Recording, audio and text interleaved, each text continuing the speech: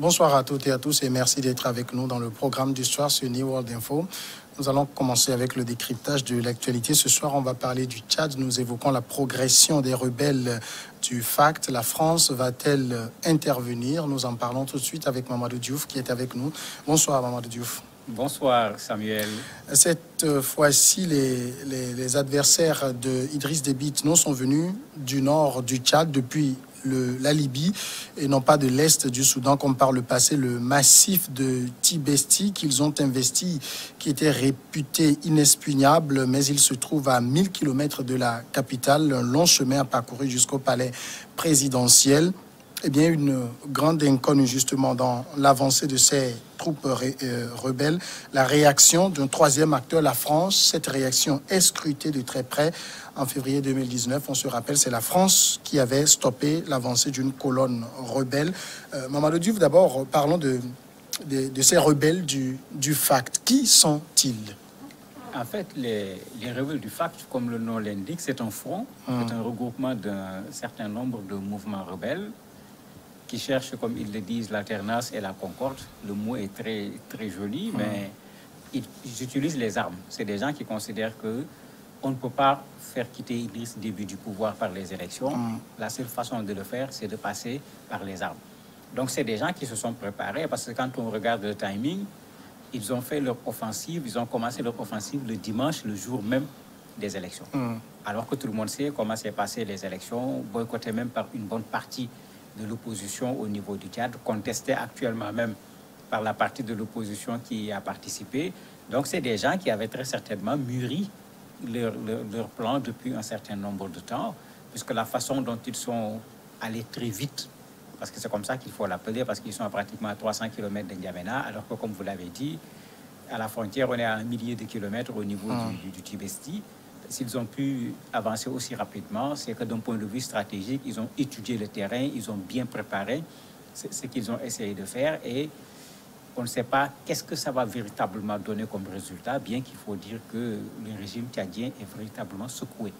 C'est des, des, soldats qui connaissent très bien la guerre. Hum. Ils ont été avec le maréchal Haftar en, en Libye.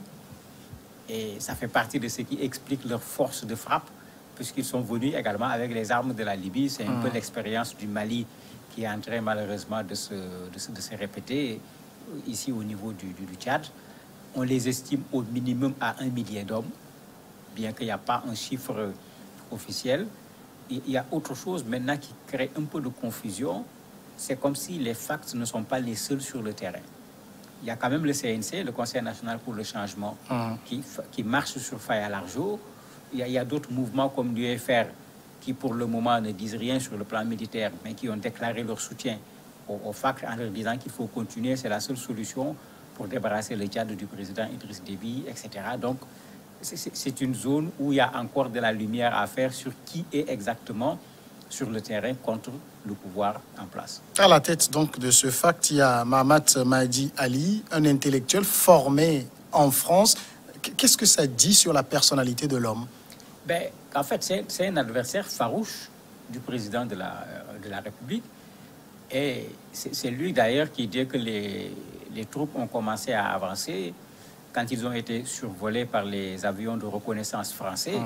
C'est lui qui a pris la parole pour parler à une France qu'il connaît très bien. Ah. En leur disant, attendez, à chaque fois que les Tchadiens ont voulu régler leurs problèmes, vous êtes venus vous mêler à cela. Pour cette fois, ne vous mêlez pas à ce problème des Tchadiens. Donc déjà, ils mettaient la, France en garde pour leur dire de ne pas se mêler à cette affaire. Et la France a très bien compris puisqu'ils demandent aux ressortissants qui sont au Tchad, quand leur présence n'est pas indispensable, de quitter carrément le, Tchad. Les États-Unis le font, d'autres pays également sont en train de le faire pour dire que cette colonne semble être une colonne très sérieuse, même si le gouvernement parle de maîtrise de la situation, de dispersion de la colonne, quand on regarde les témoignages indépendants, ce que les témoignages indépendants montrent, c'est que ces gens sont en train d'avancer vers N'Djamena. Alors justement, il y a une progression très rapide de ces rebelles. Comment ça s'explique? Est-ce que euh, l'armée en face n'oppose pas une grande résistance? En fait, le, Tchad n'est pas un petit pays. On parle de 1000 km mhm. déjà. Et comme ça se passe malheureusement dans une bonne partie de nos pays, bon, vous avez de véritables casernes où se trouve vraiment l'armée, Et dans les périphéries ou bien dans les parties les plus reculées, vous avez de petits cantonnements. Hum. Ben, une colonne de, de, de 1000 rebelles qui sont aguerris, bon, s'ils viennent quelque part où il y a un commissariat, trois gendarmeries et autres, si ces gens-là veulent résister, c'est pratiquement du suicide. Ça fait partie de ce qui explique la rapidité. L'autre élément, on traverse une zone désertique. Hum. Sur, les 1000 km, ce n'est pas des villes, ce n'est pas, pas des combats à mener contre des casernes. Non, il n'y a pas eu des combats sur 1000, euh, sur 1000 km. Ils n'auraient pas pu arriver aussi rapidement alors qu'ils ont commencé, ça ne fait même pas un mois, ça, n'aurait pas été possible. Donc il y a- il y, a ces deux éléments qui jouent à leur, en leur faveur pour le moment. Et maintenant, plus ils s'approchent d'Indiamena, plus ils feront face à des garnisons, plus ils seront réellement en face, pas seulement de l'armée tchadienne, mais de l'armée tchadienne avec le véritable matériel. Parce que dans nos pays, puisque malheureusement les coups d'État sont toujours à, à l'ordre du jour, le matériel militaire n'est pas à la frontière. Il est souvent quelque part où on le met en sécurité pour qu'il ne soit pas utilisé pour faire un, un coup d'État, de sorte que parfois quand des attaques surviennent, on met du temps avant de pouvoir mettre du matériel à la disposition des militaires. Et on a vu plusieurs fois nos armées reculer devant des groupes rebelles, devant des terroristes, non pas parce que ce ne sont pas des militaires, mais parce qu'ils n'avaient pas le matériel qu'il faut pour pouvoir faire face. Et ici, c'est ce qui s'est passé sur une bonne partie de ce trajet qui a été effectué par les groupes rebelles. Alors, ce n'est pas quand même la première fois que le président Déby fait face euh, à une avancée de rebelles. Euh, Je rappelais la dernière en date, c'est celle de février 2019, euh, l'avancée d'une colonne rebelle qui a été donc euh, stoppée par la, France.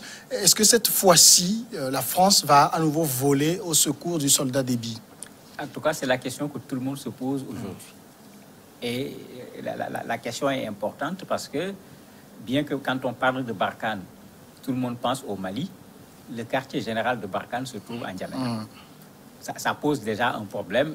Est-ce que les Français vont attendre que les rebelles viennent prendre N'Djamena alors que leur quartier général se trouve à N'Djamena la, la deuxième chose, le président Idriss Déby a accepté il n'y a pas longtemps d'envoyer, il a même envoyé des soldats sur la zone des trois frontières au niveau du Mali, alors que la France demandait cela depuis fort longtemps. Il avait toujours refusé parce qu'il demandait des choses en retour. Il avait même demandé à un certain moment que le Tchad soit à la tête du commandement au niveau de la, de, de la MINUSMA. Donc ça également, c'est un facteur qui joue à faveur du président Idriss Déby. Déby est un allié de la France. Tout le monde a vu comment il est reçu au, au- au niveau de la France, quels que soient les présidents, alors qu'en matière de démocratie, il n'est quand même pas un exemple sur le territoire africain. Il y, a, tous ces éléments qui font que la France doit être aujourd'hui dans une situation extrêmement complexe. Mais le président Macron a dit au Burkina Faso, à Ouagadougou, devant les étudiants, que France-Afrique, c'est terminé. Ce n'est plus à la France de venir régler les problèmes des présidents africains. Mais comment il va jouer maintenant entre ce débit dont il a besoin au Mali Parce que les, les- les soldats d'Idriss Déby sont au front, ils sont au combat sur le territoire malien. Comment il va faire avec cet allié qui est un allié dont il a encore beaucoup plus besoin?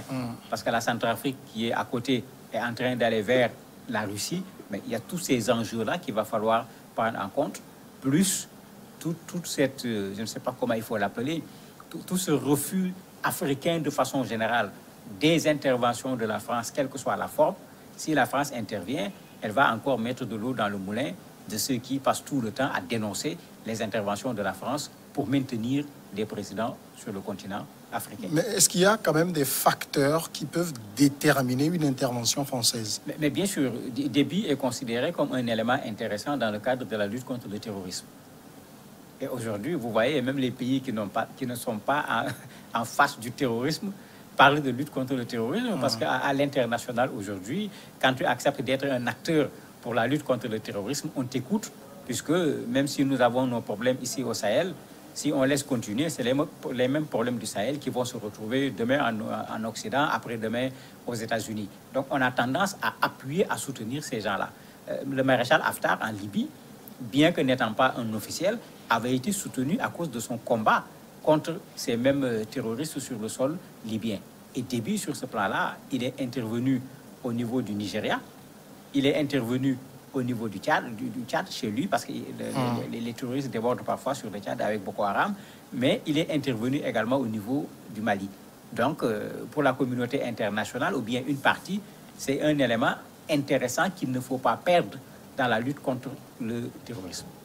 Est-ce que la France est le dernier rempart de débit ou bien il peut aussi compter sur une armée très soudée? Ben, Soudée, non.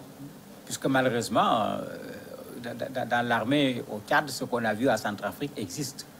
Les, les, les, les, dernières rébellions dont vous avez parlé, celle de 2008 en particulier, ah. avaient été menées par les Agawa, qui sont de la même tribu que, le président de la République. C'était d'ailleurs même dirigé par son propre neveu. Ceux-ci n'en font même pas partie. Ils ne sont pas de la même, euh, de, la même tribu et c'est comme si, à partir de la Libye, ils ont eu du matériel militaire important hmm. pour pouvoir oser reprendre cette initiative, tout en connaissant, comme tout le monde, hein, surtout Mohamed Ali qui connaît très bien la France, il connaît très bien le risque d'intervention de la France dans une telle euh, situation pour ce qui est du, du, Tchad. Mais malgré tout, s'ils sont partis, c'est que vraiment, ils ont une certaine confiance par rapport certainement à leur force sur le plan militaire. Bon, ils se rendent compte également que le contexte est favorable, les élections, des contestations, des grèves à ne pas finir, qu'on a suspendu tout, tout, tout, tout, récemment. Tous ces éléments font que si, si au niveau du, du, de N'Djamena, sur la question de l'élection, les gens bougent pour contester, Idriss Déby va se retrouver entre deux feux. Le feu de la contestation des mmh. élections et le feu de ces rebelles, ce qui ne leur rendra pas la tâche facile. Maintenant, n'oublions pas que Déby est un rebelle, pour ne pas dire un ancien rebelle. Mmh. Euh, selon l'AFP même, euh, qui, cite des sources militaires, Déby est au front. Il connaît très bien cela, parce qu'il ne faut pas qu'on oublie qu'en 90, c'est de la même façon qu'il est venu mmh. prendre Diamena. Il ne faut pas qu'on oublie que Goukouni Wedei avait fait la même chose, Hissène Abré avait fait la même chose. Donc, c'est quelque chose qui se répète et il connaît parce qu'il a été impliqué également dans ce qu'Abré faisait. Il semble qu'il est sur le front, on ne l'a pas encore, euh, j'allais dire, démontré de façon concrète, mais selon des sources de l'AFP, lui-même, il est au fond, donc il compte sur son armée et il a lui-même cette expérience de la rébellion. Sur le plan politique, les élections également tournent largement en sa faveur. Oui, bien sûr. Les, élections, plus, personne n'attendait le résultat, puisque quand les, les, les, Yorongar, euh, Saleh Kedzabo, euh, Christophe, tous ces gens-là ont, quitté le la, liste des candidats, tout le monde savait qu'il n'y avait plus rien parce que c'était eux qui pouvaient faire un suffrage consistant en face du président. Hum. Et même avec eux, ce n'était pas sûr qu'ils allaient gagner les élections. Donc quand ils sont partis, c'est le maréchal qui se battait à la limite contre un soldat de, première classe. Le résultat va montrer tout simplement que le Tchad a voté pour le président de la République alors que tout le monde a constaté le fait que les populations n'ont pas participé à ces élections. Hum. On donnait l'exemple d'Abéché où on a même fermé les marchés pour une façon de pousser les populations à aller voter, mais malgré que le, maire a fermé les marchés, les populations ont boycotté les, les, les urnes, les gens ne sont pas allés pour, pour voter. Donc on n'attendait pas grand-chose, c'était plutôt le pourcentage de participation, le taux de participation qu'on attendait, mais comme on le sait, officiellement, on va l'arranger pour qu'il soit acceptable. Qu'est-ce que les Tchadiens eux-mêmes pensent de l'avancée des rebelles du FACT? Une bonne partie des Tchadiens demandent le dialogue. Parce que quand on regarde la presse tchadienne, les gens reviennent sur ce qui s'était passé en 2008. Mm. Puisque c'est là où les gens s'étaient arrivés devant pratiquement le palais. ceux d'Indiamena ont eu tous les problèmes du monde, les civils, pour quitter la ville. Puisqu'ils se trouvaient entre les, deux fronts. Mm. D'ailleurs, même, euh, c'est assez particulier. Il y a un des responsables des partis au pouvoir, le coordonnateur lui-même d'ailleurs, qui demande à ce qu'on fasse le dialogue. Et il revient sur ça en disant faut pas qu'on revive ce qui avait été vécu en 2008. Il dit même que le traumatisme est encore là au niveau des enfants qui ont vécu cette expérience-là. Les partis politiques également de l'opposition ont carrément demandé deux choses. Aux rebelles, un cessez-le-feu, au président d'accepter qu'il y ait un dialogue national d'ici le dimanche prochain pour qu'une offensive sur N'Djamena ne puisse pas avoir lieu. Mamadou Diouf, merci d'avoir répondu à nos questions. C'est moi qui vous remercie. Tout de suite la pause et puis après l'invité de ce soir.